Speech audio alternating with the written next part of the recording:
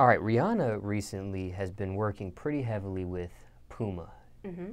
helping put out some new sneakers Right. and you know uh, that sort of thing. Um, are you familiar with any of the stuff she's recently put out? I am. I've seen all online. Yeah. Actually. Now she first came out with uh, a pair of shoes called the Creeper, and Okay. and then she came out with the Trainer, and the the Trainer is like the laceless shoe with the long tongue. Oh, nice. Yeah, I don't know if you've seen that one, but a lot of women been Yeah, I wasn't aware of that one. repping that one. But now she put out her first sandal, Mm-hmm. and the Puma site crashed in two minutes when they had it, Wow. sold out in 30 minutes. But we were lucky enough to get a pair, and I wanted to see what you thought about it. Now, I actually have a pair right there to the side of you. Okay. This is called the Fenty Fur Slide. Is this my pair? Is this an eight? Seven, eight? It might be, I don't know. It might be, I, it's, it's a nine, might be a little too big for Oh, you. It's a little too big, but you know, ain't nothing wrong with a big shoe every now and then.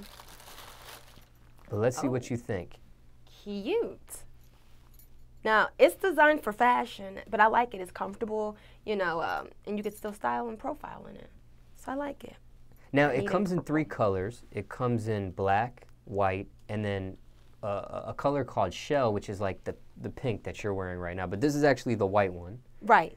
and uh, I wanted to see what you thought. Now, would you wear something like that? Oh, I would definitely wear. it. I would. I would have wore it to the interview if I had it my way. For, hey, Puma, hook me up. Hello. But um, if, if if I had it my way, I could definitely rock. that. Now, where would you wear something like that? At? Just curious.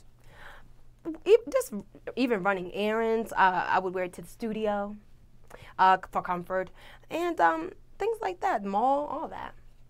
All right. But if you're really risque, you might can wear it to the club. But Now, now saying that might be I've seen. I've seen I've seen women. You know, this these sandals are for women, but I've actually seen Travis Scott wearing a pair. Really? yeah, the other day. well, he's quite interesting. He wore the pink ones, the shell colored ones. Oh, nice. I mean, you've got to look at it like this. If Nike can do it for the guys, you know, the regular classic uh, white and black, and then they then they made uh, Adidas. I'm sorry. If they could do it, then you know we can. You know, it could be a unisex thing.